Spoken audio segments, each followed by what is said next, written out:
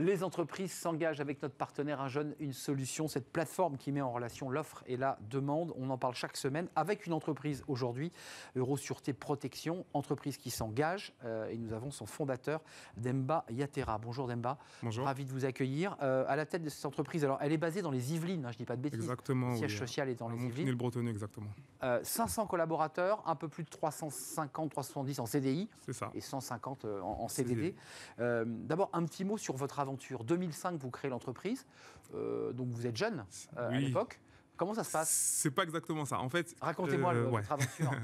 c'est une aventure euh, assez, on va dire, pas banale. En fait, euh, je travaillais en fait dans, dans- dans cette entreprise euh, en 2005, donc j'étais euh, j'étais salarié en tant qu'agent de sécurité. En 2009, euh, l'entreprise comptait une quinzaine de salariés et l'entreprise était en train de déposer le bilan parce qu'elle avait énormément de dettes et c'était compliqué.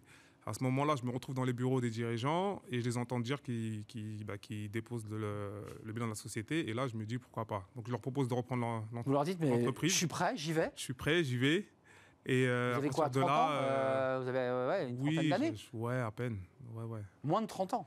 ouais, à peine. Ouais. Donc là, vous prenez votre risque, comme on dit. quoi. Ouais, exactement. Je prends mon risque, euh, je prends l'entreprise. Donc, au départ, donc j'avais aucune notion de, de- de gestion parce que bon, j'étais ju- juste agent de sécurité. Donc, j'ai fait le choix de, de garder l'un des dirigeants sur la partie administrative en tant que salarié.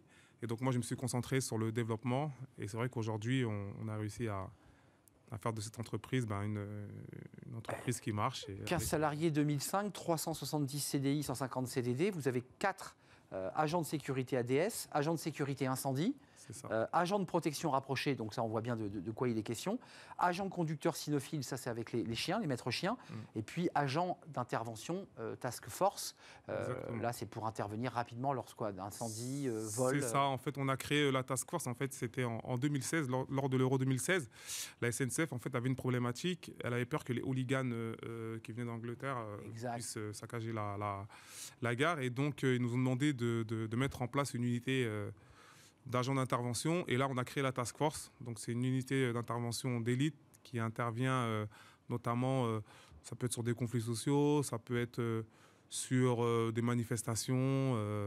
et on est principalement sur la gare SNCF où on, a, on a des missions d'intervention. On va parler de vos recrutements, mais euh, ils ont un port d'armes ou pas là, dans, dans ce cas-là? Non, non, la législation autour de la sécurité. Non, non, mais est c'est important de le préciser. On n'a pas de... Il y a la police nationale, il y a la sécurité ferroviaire, eux on- sont autorisés à porter une arme. Nous, on vient en complément, en fait. Ce sont des, des agents de sécurité avant tout, à qui on apporte des formations complémentaires euh, pour qu'ils soient euh, un peu plus aguerris. Mm.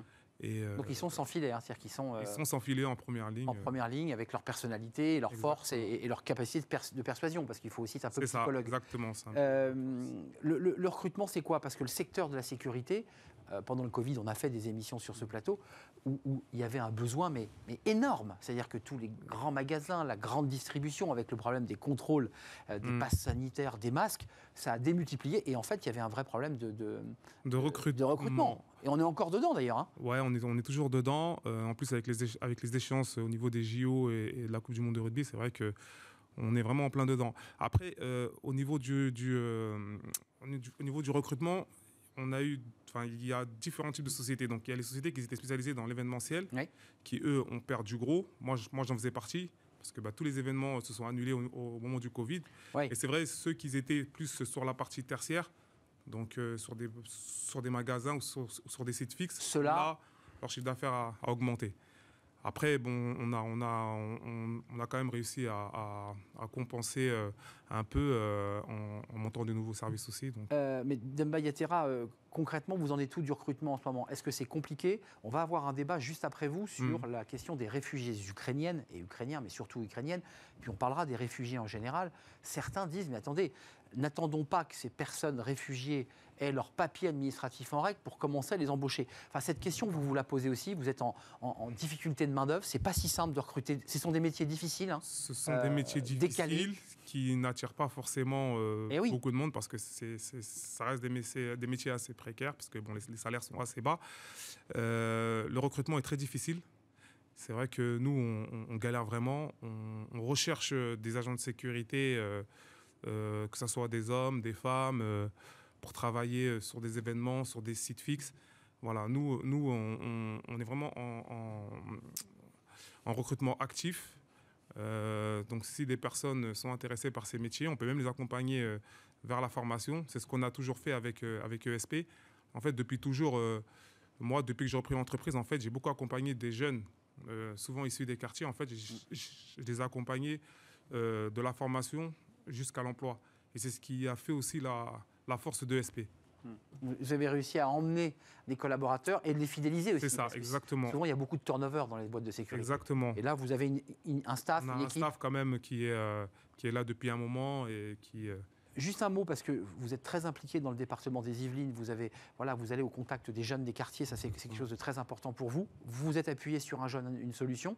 Est-ce que l'outil vous a apporté? Parce que l'idée c'est de mettre en relation euh, l'offre et la demande. Hein. Ça a marché ou pas? Oui, oui, énormément, énormément. On a... Euh, on a, euh, on a pu embaucher beaucoup de, de, nos collaborateurs via ce dispositif. D'abord sur des contrats d'apprentissage et ensuite, euh, ils ont pu rejoindre euh, l'entreprise en tant que, en tant que euh, soit personnel administratif ou même agent, même agent de sécurité, parce qu'on a des partenariats aussi avec, avec des écoles de la sécurité, notamment à Trappes. Et donc, donc voilà. Donc là, vos besoins, c'est combien là? Vous avez besoin de combien de collaborateurs? Si, si, ben dans, le meilleur des, dans le meilleur des mondes bah là, on rentre dans la grosse saison événementielle. Bah ouais. Et ça repart en plus. Et là, ça repart bien en plus. Donc, dans le meilleur des mondes, Ouais, entre 200 et entre 200 et 250. Donc là, on n'est on pas sur du CDI, j'entends, on est sur, du, CDD. du CDD. là, vous avez besoin de 200 personnes À peu près, ouais. Si on veut hors maître chien, hein, on euh, parle vraiment sur des agents de sécurité classiques. On parle vraiment d'agents de, sécurité. Ceux qui feront euh, de la fouille euh, à l'entrée de, de, soirée dans les stades. Exactement. ça, c'est des emplois 4 mois temps plein. C'est quoi? Parce que vous êtes précaire, c'est compliqué Oui, ça serait plus des là sur, des, sur de l'événement en fait, donc sur des contrats événementiels, des CDD euh, événementiels, donc des personnes. Oui, des, en général, c'est des. Euh, après, ça dure sur toute la saison, mais on fait des contrats euh, à la journée sur l'événement. Mais est-ce que vous faites partie de la profession Maintenant, ça fait presque 16 ans que vous êtes à la tête mm. d'une entreprise, et vous n'êtes plus l'agent de sécurité, vous êtes patron d'une boîte, vous la gérez, vous faites votre compta et vous savez gérer votre boîte. Euh, est-ce qu'il faut repenser le modèle? Parce que c'est vrai que les agents de sécurité et les patrons vous disent Mais nous, si les salaires sont bas, c'est parce que nos donneurs d'ordre euh, nous serrent la vis. Non, mais c'est ça la réalité. Bah, la réalité, elle est là. C'est bah un vrai problème euh, dans le métier de la sécurité. Ce n'est pas un métier qui est encore assez reconnu. Aujourd'hui, c'est plus une charge pour, les entre... pour, les... pour nos clients. Donc c'est au moins 10 ans tout le temps, quoi. Bah, c'est ça le problème. Et nous, on essaie de mettre les moyens, on essaie de, de de former nos agents euh, bah, sur nos propres, nos propres fonds. Ça coûte, ça coûte cher. C'est pour ça que le système de, sécurité en général, en général, la rentabilité est très faible. Bah oui, les marges sont faibles. C'est vrai qu'il faudrait revoir le modèle. Euh, enfin, il faudrait vraiment essayer de revaloriser euh, le secteur. Parce que vous avez comme une fédération qui est quand même très active. Très... Comment, comment elle se positionne par rapport au pouvoir public? Parce que votre enjeu, il est là. Si vous voulez payer plus vos collaborateurs, il faut que, bah, il faut que les appels d'offres soient plus élevés. Hein. Oui, on a, on a, le, on a le, l'ADMS et le GES qui sont, euh, mmh. qui sont les syndicats en fait, de la sécurité privée, qui, sont, qui essayent hein, à leur niveau de, de faire remonter euh, bah, les mmh. choses au niveau du gouvernement. Très Ça avance, mais ça avance, ouais, ça avance doucement. C'est vrai que ça avance doucement. ESP euh, e Sécurité, vous verrez, il y a plusieurs branches si vous allez sur le site internet. c'est un groupe hein, intégré avec plusieurs secteurs. 200 postes là pour voir là dès maintenant, parce que vous êtes en train de préparer la Coupe du Monde de rugby. C'est ça, exactement. il y a un gros besoin dans les stades. Exactement, et les aussi. Donc, euh, et puis, vrai qu'on est. Euh, puis je voudrais pas qu'on se quitte parce qu'on euh, on parle beaucoup de la marque employeur, on en parle assez rarement à travers les boîtes de sécurité, mais il y a de la formation, ça vous nous l'avez dit, c'est très important pour vous. Puis j'ai vu que vous meniez des actions humanitaires d'envoi de matériel avec le Sénégal. C'est ça, exactement. Donc bon, ça c'est un petit hacker, c'est. Non mais c'est important aussi pour, pour vos collaborateurs. bien sûr. c'est vrai qu'on est beaucoup actifs sur le plan aussi international. Hein. On essaie vraiment d'aider, de soutenir euh, bah, la cause au, Sénégal notamment, mais, mais pas que. Hein. On, travaille avec, euh, par exemple, Sokaji, qui est, une, qui est une association en fait euh, bah, qui aide les jeunes en situation de handicap. Hmm.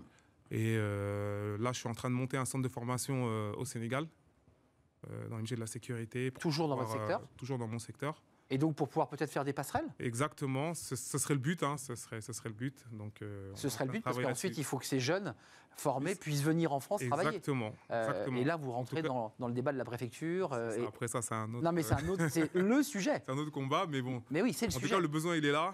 Euh, aujourd'hui, on, a vraiment besoin d'agents de sécurité. Ah, plus que jamais. C'est un métier qui a aussi évolué, avec, comme vous le disiez, avec des formations, avec beaucoup d'avantages. Donc, hmm. C'est vrai que. Oui, puis un vrai professionnalisme. Hein, de, un vrai professionnalisme. par les patrons des C'est très réglementé. On a des formations obligatoires, des recyclages obligatoires. Voilà, c'est quelque chose de quand même assez. Merci beaucoup. Merci de nous avoir rendu visite. Quelle belle euh, histoire vous racontez aussi à travers votre parcours. Euh, Demba euh, Yatera, fondateur de SP Sécurité. Allez donc voir sur le site internet et aussi sur le site Un jeune, une solution, parce que vous êtes référencé. Et donc il y a aussi des possibilités de passer par le, site. C'est un vrai plaisir de vous accueillir. Merci beaucoup. Merci d'être venu et puis bon, bon vent pour la suite de l'aventure ESP. on fait une courte pause. On va s'intéresser, bah, tiens, vous voyez, on ne va pas être dépaysé aux réfugiés ukrainiens. comment ça marche? Comment font les entreprises pour, lorsqu'elles déposent leur offre d'emploi. On va en parler dans quelques instants parce que ce sont majoritairement des femmes accompagnées de leurs enfants. Euh, on va faire le point parce que les entreprises françaises, et on en parlera, eh bien, tendent la main aux réfugiés ukrainiennes. Et ce n'est pas si simple. On va en parler avec nos invités dans quelques instants, juste après la pause.